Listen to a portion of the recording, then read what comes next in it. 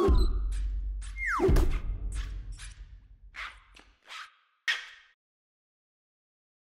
Fujitsu is an international household name for many people around the world. They make everything from server computers to POS machines and even escalators.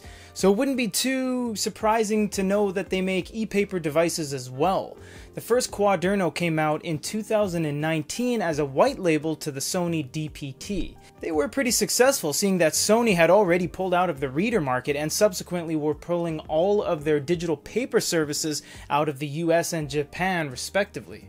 Earlier on this year at a trade show in Tokyo, Japan, we actually saw the device that was dubbed the Digital Paper 2.0 or second generation. They had told us that the technology is up for grabs that anyone who wants it. Two units were available, the DPT 2.0 and the DPT Color, and it looks like Fujitsu nabbed themselves the second generation digital paper. As Linfiny is the OEM or original equipment manufacturer, that means companies like QuirkLogic, Sony, Fujitsu can buy these shells and make it their own. Who's going to pick up the color DPT? We honestly have no idea, but for now, let's look at the Quaderno second generation. The Fujitsu Quaderno, one of a kind. Existing alongside tablet powerhouses with e-paper screens, the Quaderno approaches things professionally, simplistically, beautifully. Its design is easy to look at, effective, and very fitting with the DPT legacy. It's also the first device in the world to use the new E Ink Carta 1250 e-paper display. This version has a thinner film, faster ink, and enables faster page turns, along with less latency while using a stylus. Interestingly enough, even in the year 2021, they still haven't sold out. They're still using a plastic screen as opposed to a glass screen, which gives it some of the best writing feel in the industry. And of course, there are improvements over the previous generation. A new USB C port gives you faster data communication, a thinner and lighter body makes it easier to hold. Faster processor makes everything, well, faster. And most notably, a brand new EMR layer to allow you to use any stylus on the market.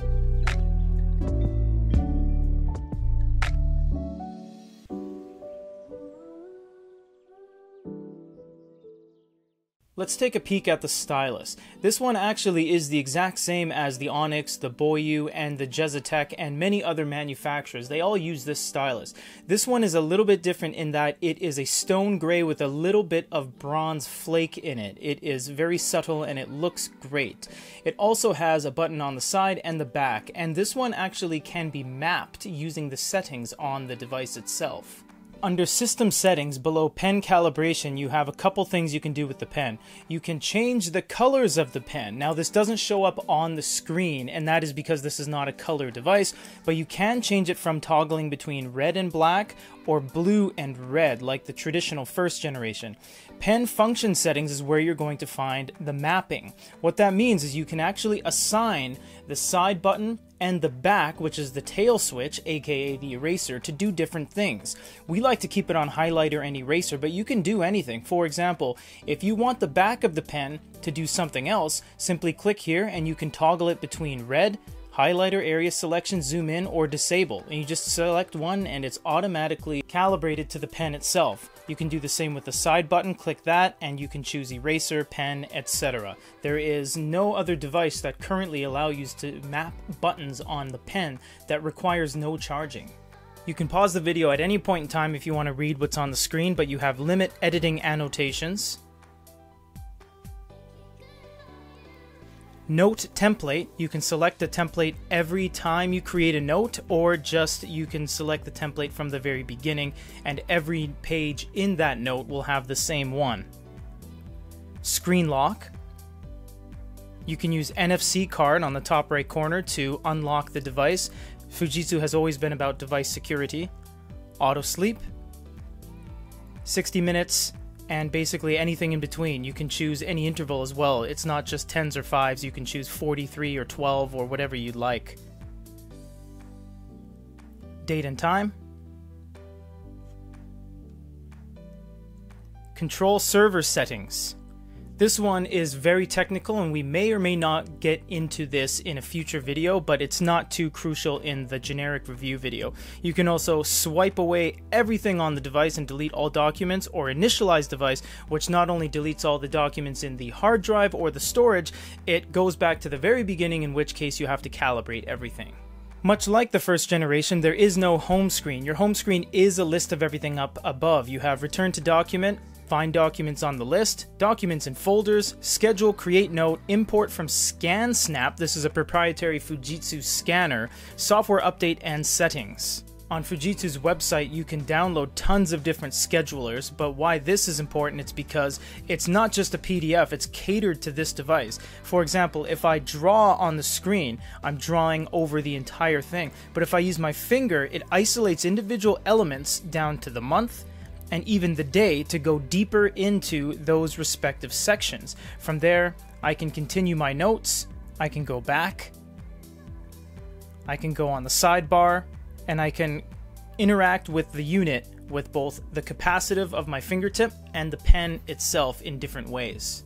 And yes, the highlighter works on basically anything you sideload into the unit, whether it's the scheduler or the calendar or anything it can isolate on the screen that is to be considered text.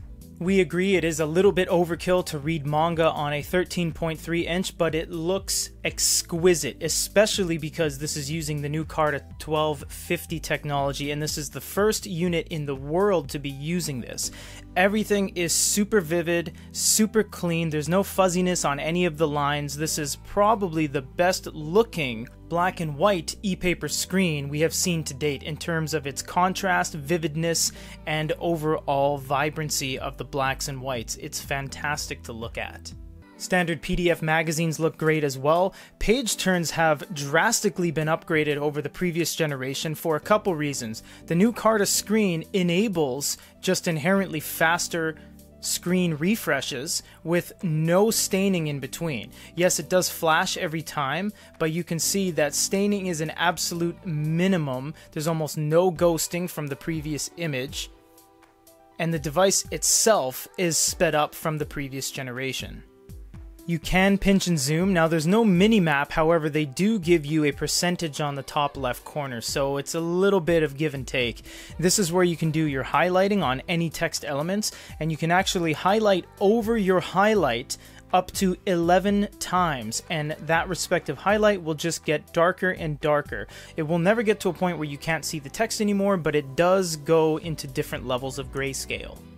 You can delete your highlights as well by using the eraser and then everything is gone, so that's super convenient. If you're skipping ahead in this video, an absolute huge advantage over the previous gen is that not only can you use the stock pen that comes with it, but you can use any pen, the Reinkstone, the Remarkable 2, the Lamy pen, or even the Bigme pen. It will work with pretty much any EMR slash Wacom enabled pen, the Mitsubishi, the Staedtler, the X Pen, the iReader Smart, anything on the market. So it certainly opens you up from using the previous Sony $100 replacement pen that you need to charge into using anything on the market. Tapping the top palette, you can see it is heavily expanded over the previous generation, as well as you have a lot more line thicknesses, eraser thicknesses, two color toggles which you could map on the pen, a highlighter, an eraser, and the pen itself.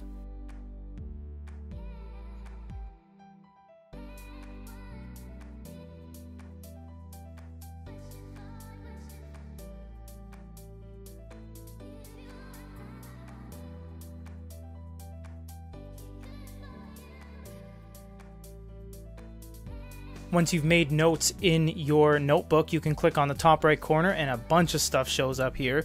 You can choose your annotations list and it will basically show you everything you've taken notes of and it will outline everything you've taken with the pen. Display documents side by side or split screen is very fitting on a 13.3, both literally and figuratively. What this actually does is it doesn't just duplicate what you're looking at, it actually splits the entire UI into two separate elements. For example, I can click on the drop down here and I can choose anything I want. So I can go to the baseball PDF we use as testing purposes and it's gone to exactly where I was. I can go over here and look at the manga we just showed you a little while back and it will open that. And respectively on each side, I can take my own notes anytime I want on both sides. And this time, between both of these, I don't actually have to activate it in order to start writing notes.